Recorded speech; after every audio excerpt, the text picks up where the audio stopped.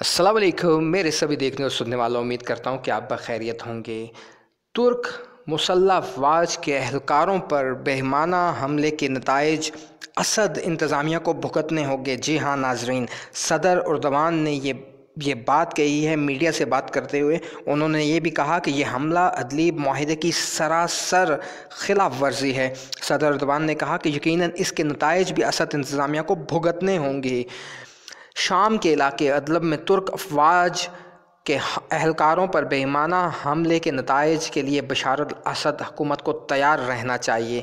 آپ کو بتائیں کہ اردوان نے کہا کہ اسد انتظامیہ کے ان عناصر کو فوری طور پر جواب دے دیا گیا ہے، جنہوں نے حملہ کیا تھا ترک فوج کے اوپر اور ساتھ میں یہ بھی کہا کہ اسد حکومت کے خلاف آپریشن جاری رہے گا اور ہمیں اس مرحلے پر روس کے ساتھ تنازع یا سنجیدہ تضاد رکھنے کی ضرورت نہیں ہے۔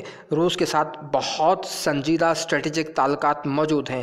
تو آپ کو بتائیں کہ ابھی براہ راست ترکی جو ہے حملہ کرے گا اسد کی فوج کے اوپر شام میں، جبکہ یہ ایک بہت خمسان کی جنگ وہاں پہ ہونے جا رہی ہے فیوچر میں۔